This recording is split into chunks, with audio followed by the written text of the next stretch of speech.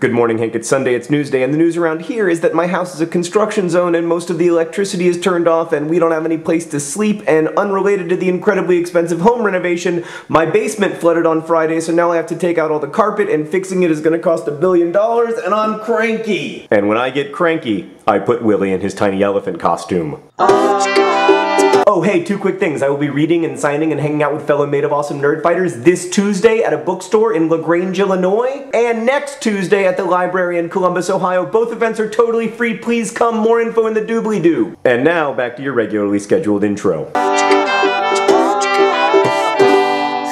Okay, Hank, today I want to talk about elephant puppies and capitalism because capitalism has had a bad go of it recently, like failure to regulate the free market is being blamed for the Great Recession and for the screwed up American healthcare system and a lot of other things, and I happen to think that the free market is in many ways a great thing. So for one news day, at least, the giant squids of anger are going to stop screaming about how I'm a left-wing communist and start screaming about how I'm a right-wing fascist. Off topic, but Hank, do you remember that band, the left-wing fascists, that we liked when we were kids? They were awesome. Right, so but okay, let's say you have a dollar, and let's say you decide to spend that dollar buying fabric and thread and needles and whatever else you need to build a puppy-sized elephant costume for a puppy, then you sell the puppy-sized elephant costume for $5, you go out and you buy enough fabric for 5 costumes, which you sell for $25, giving you enough money to make 25 costumes, which you sell for $125, and so on until you're rich. At least until you lose all your money in the Great Basement Flood of 2009, although then, thanks to the free market, you'll be able to get competing bids from multiple contractors so that solving your basement problem, while it will cost you so much money that the only way to cope will be to dress your puppy up as an elephant, will be as cheap and efficient as possible. Anyway, capitalism isn't actually that simple because the actual functioning of capitalism is based on debt. In the real world, you probably won't be able to scale up the production of your puppy-sized elephant business without at some point borrowing money. Maybe you don't have the dollar you need to build the first costume, or maybe you need money to build a highly automated factory that will produce puppy-sized elephant costumes cheaper and more efficiently. At some point, you will have to borrow money, which you'll have to pay back with interest, but if your business idea is a good one, like say elephant costumes for puppies, or say penicillin, you'll be able to pay back the loan with interest and still make a profit. And the weird thing about that is when loan capital flows freely, wealth gets created. Now, of course, an unregulated free market can also lead to decreased economic activity, like say if the sight of a puppy in an elephant costume is so transfixing that people who own such costumes find it impossible to leave their houses in order to go to work, which is basically why heroin's illegal, but that's another story. The story today is that on average, people who live in countries with freer markets get richer over time because those markets create wealth. That's why microfinance works. Through websites like kiva.org, link in the doobly-doo, people like me are able to loan money to entrepreneurs in the developing world who live on less than a dollar a day, and then those people can have the capital to start a small business and then pay me back with the revenue that business generates. Loaning money to poor entrepreneurs almost never costs the lender anything. The loans are repaid 99% of the time, so you can loan the same $25 over and over and over again and you get to watch the free market work. And it does work. Hank, money can't buy love, but it can buy longer, healthier, more secure lives. And ill-fitting puppy costumes. It's an amazing feeling to watch these tiny loans bring people out of poverty all over the world, and because it's a loan and they repay me, it doesn't even cost me anything. So Hank, that's Willie's defense of the free market Nerdfighters. If you want to see a made of awesome free market in action, you can go to kiva.org, and Hank, I'll see you on Tuesday.